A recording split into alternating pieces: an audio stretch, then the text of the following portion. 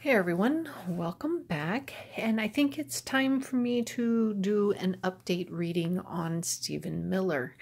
So, the reason why I'm calling it an update reading is because um, I've done a reading on him a while ago, really long time ago, and it really kind of showed that this guy really likes his position. He really likes who he is, and he's very comfortable with how he does things.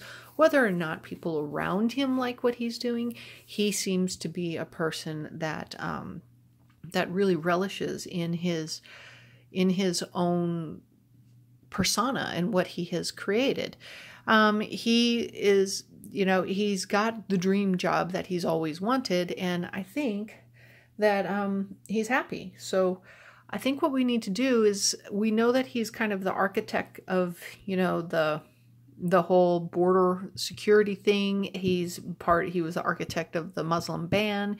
He's the architect of a lot of things. So it's his it, the way he thinks is not the way that I would think the majority of people thinks, but it just really does feel like this guy is very happy with what he does and who he is and how he does it and portrays it. So, um, I'm going to do a reading on him because it was requested. And what I'm going to do is I'm going to probably smudge this to clear the energy here I have a lot of protection stones here.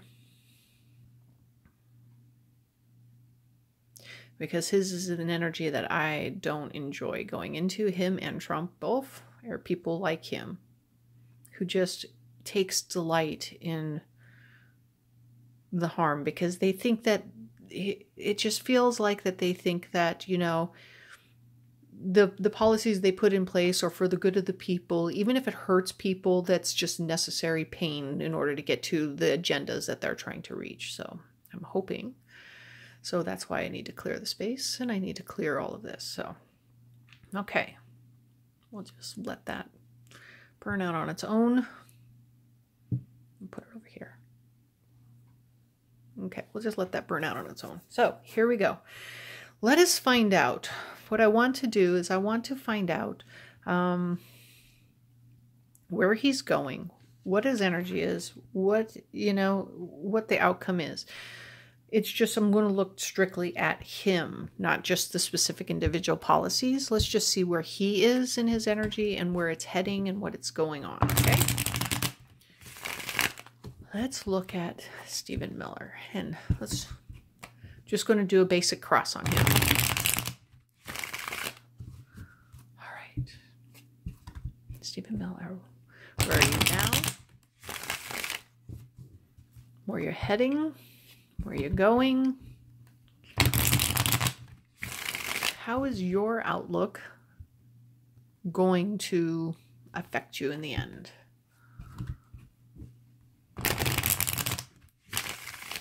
Because how he believes, how some of us other people believe, are not the same thing. All right.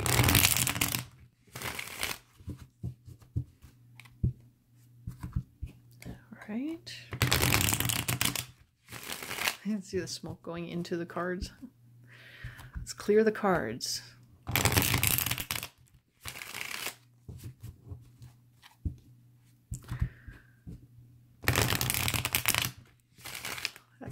Curious little thing. All right, let's see where we are. Stephen Miller, where you sit. How are you going? Where are you heading? All right.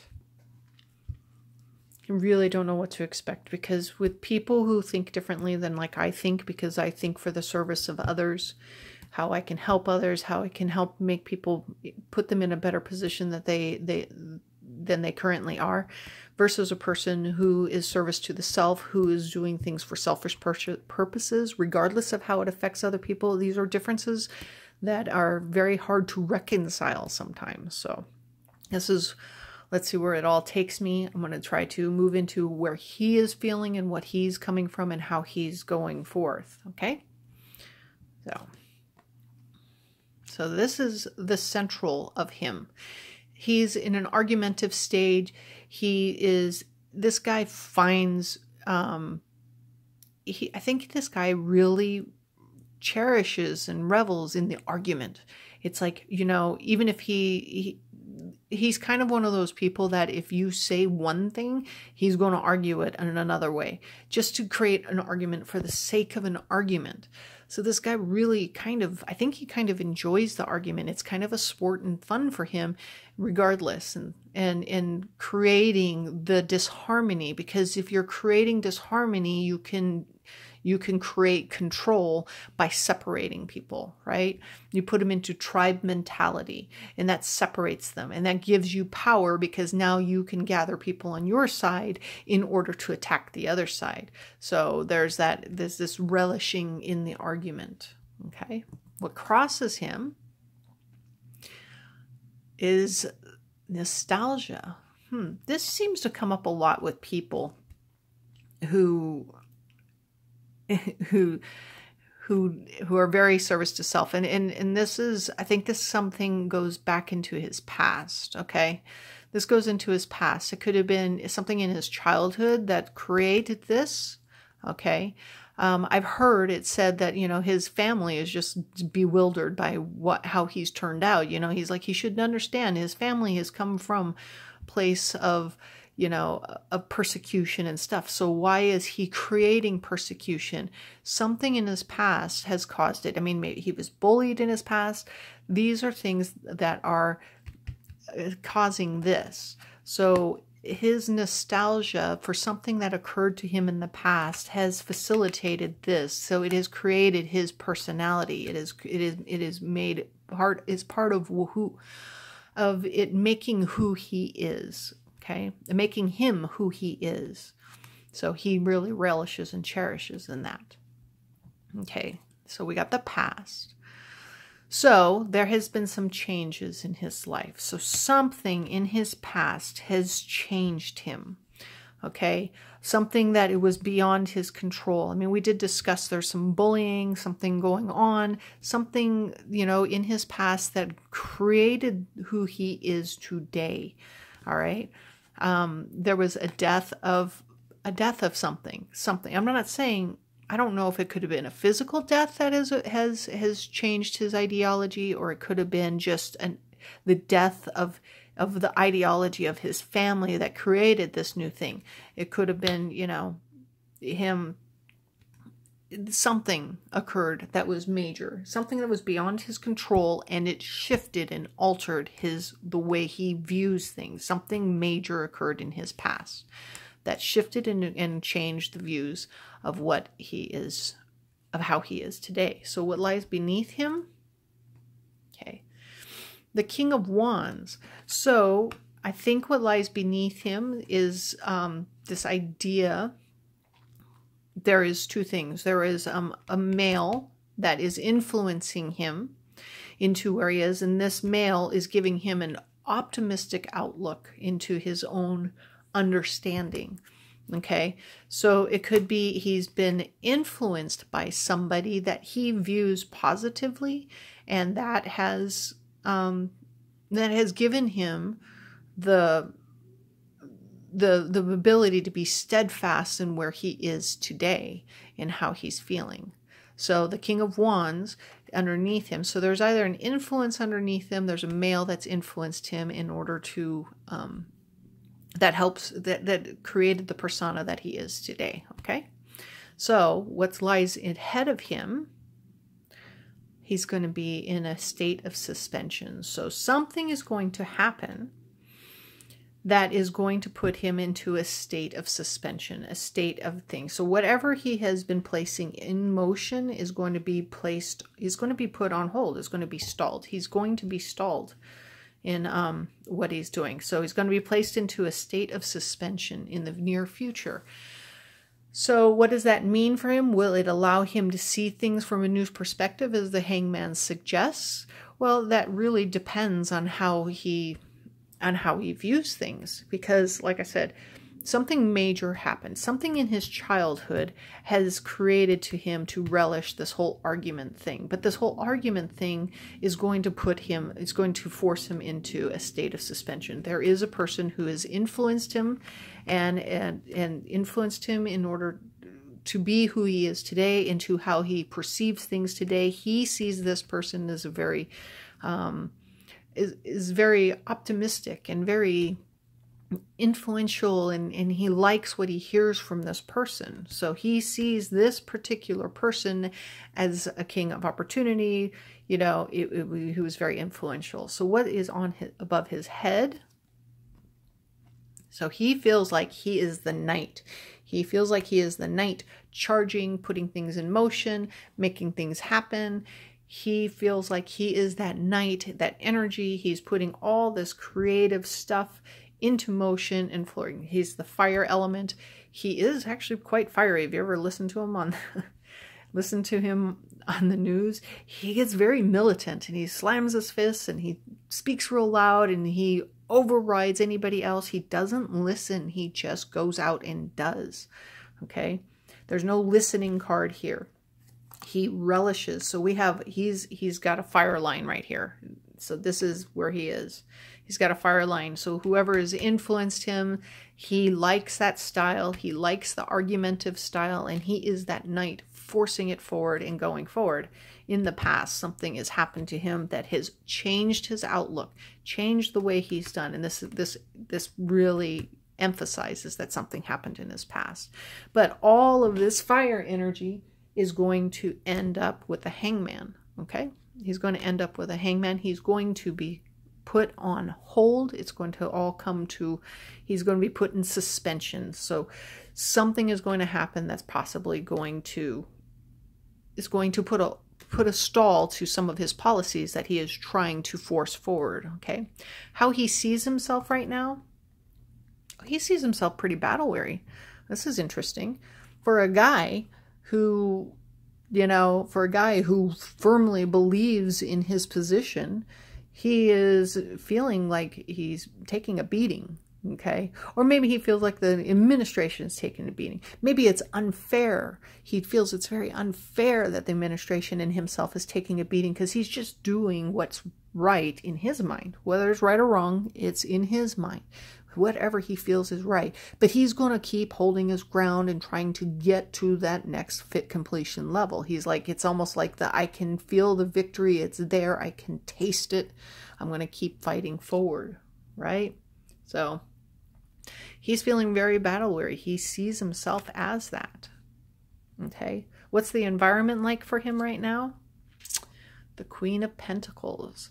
So it's the security. He's in an environment that he feels very, very secure. So, as anybody could look at it, there's money. So, this would be for him the White House environment is a very secure environment for him. It could be in complete chaos. It don't matter. For him, it's very secure because, you know, he's got a he's got a president who has faith in him. Okay. So he feels very secure where he is. His environment allows him to create all of this. Okay. His environment allows him to do that. So he feels very secure in that environment. So he's in his own, and we know that the White House is kind of like a bubble.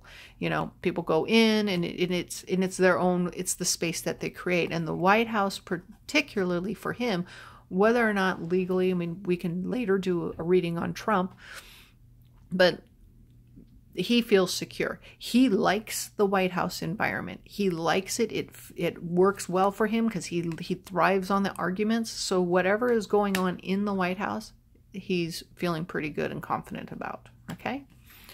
So that is interesting. So he really feels it. He feels pretty good about it. All right. Now, hopes and fears. All right.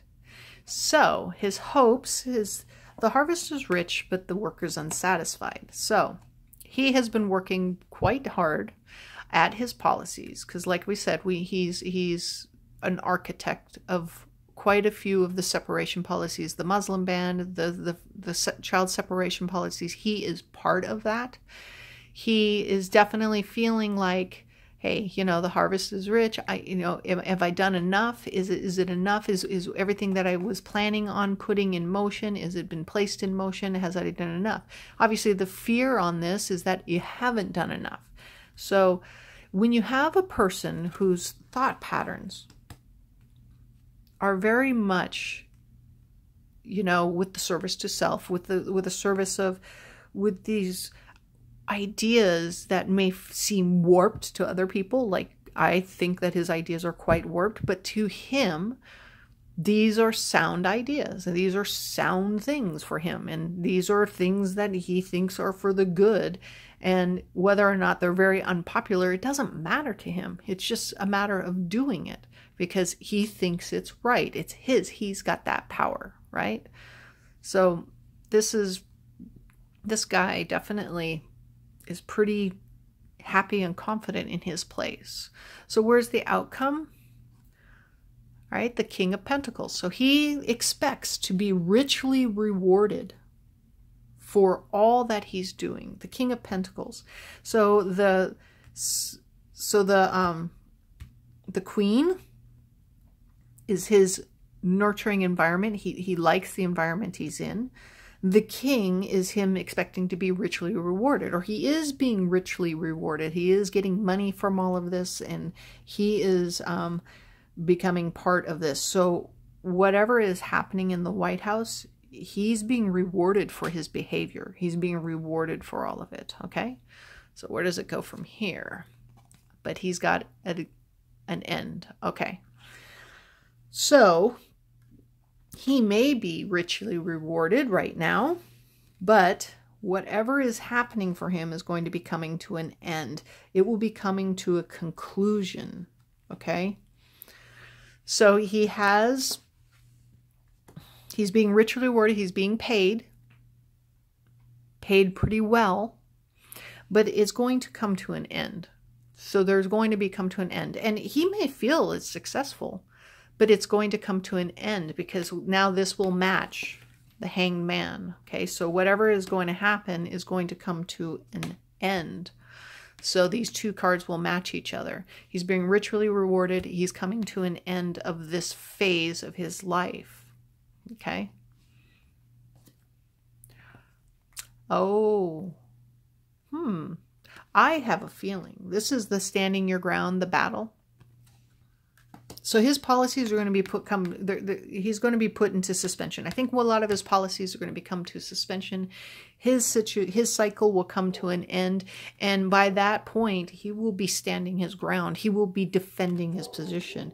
Makes me wonder is if the end that we're seeing here is after the presidency, or if it's after the policies are are forced to be shut down. It's a little hard to say but he's going to be standing his ground. So is he going to co- is he going to be is he going to come to trial to all of that? Well, it looks like that he's going to have to be defending himself in some sort of ways. I mean, there's no more cards in this particular spread, but it just shows that the cycle, when it ends for him, he's going to have to be defending why he did all of this. But like I said, he really feels that this is cool for him. This is cool for him. Whether you agree with his positioning or not, he himself feels that it's he's doing the right thing, but he's going to be forced into he's going to be forced into completion. He's going to be forced into hangman. His policies that is going to be done is going to be suspended at some point in the future and it's going to cause an end here. But he's being ritually rewarded. But then after the end happens, he's going to be having to defend his ground this guy, we'll have to do another reading on him to see what this end means and where is it taking him. Um, I did ask, I go, where is he currently now and where is he heading forward? And I did say that I need to go from his perspective. This is his perspective. He's happy about it. He's doing things that he feels is right. And he's had some major issues in his past. He's got an influence, he's got somebody who he admires. He is that knight. He loves the fire energy. He loves the battle. He does feel battle weary. This is probably why it's going to come bring in the hangman. And it's probably why it's going to bring in the ending because it's not it's inevitable in it. It's inevitable in his his energy. But he's going to wonder: Is it enough? Was it enough? Was it enough to make the changes that are necessary? Was it enough? Or you know? But he's going to be he's going to be definitely standing his ground. He's going to have to defend his position and he's going to defend it. Is he going to find remorse for all the harm he's done? It doesn't say. None of that says. This is just his perspective, just looking at it from his perspective. So, yeah, this guy has got a different way of thinking than someone like me. I mean, I don't see what he's doing as a great thing, but he definitely feels like he's doing the right thing for himself. So, and he's being rewarded for it. So, but it's going to come to an end, and he's going to be defending his position, just like anybody else who feels like that this is just like anybody else. Anybody else who who does harm to other people are eventually going to have to defend why they did it. You know, the you know the Michael Cohens or the Paul Manafort or the Michael Flynn's. He's in that same group, and he's going to have to defend himself at some point. But right now, he's protected in the White House, and he, he is, and that's his nurture ground. It allows him to create all this energy and put it in motion. So, but he will be put in suspension. All right. I hope you enjoyed this reading and seeing it from a different perspective, from his perspective. And um, we will talk to you soon. Thanks. Bye.